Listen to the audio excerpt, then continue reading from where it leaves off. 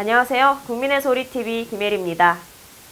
인천광역시 상수도 사업본부는요, 이 위험한 장소에 노출된 대구경 수도전에 대하여 5개 영상 검침 장치를 설치했다고 밝혔습니다.